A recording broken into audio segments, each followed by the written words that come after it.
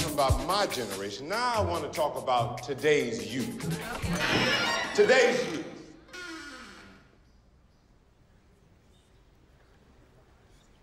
Do I need some oil?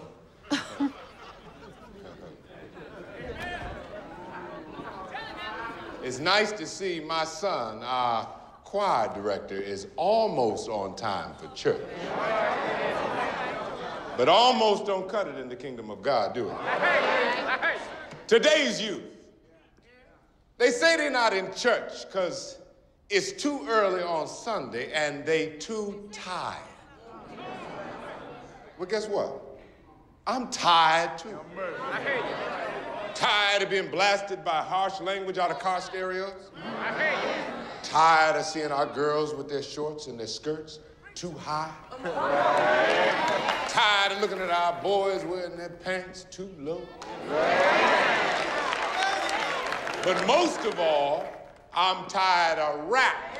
And them rap clubs keeping our kids out so late on Saturday night that they can't get up early on Sunday morning and go to church because they too tired. Y'all know what place I'm talking about, too. That place downtown. And don't you all let them fool you into believing that it's a good thing. and keep our kids safe and, and, off the street. what I am sure about is that I wouldn't let my son or daughter support something as blasphemous as that club, and neither should you. People!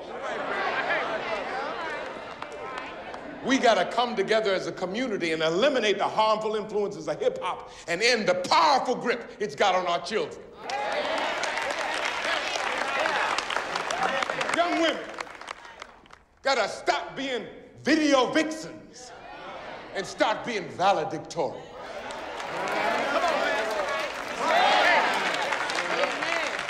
Young men got to stop being gangsters and start being graduates. Young people got to turn off that stereo and turn on G. O. D. Uh-huh. G. O. D. Uh-huh. G. O. D.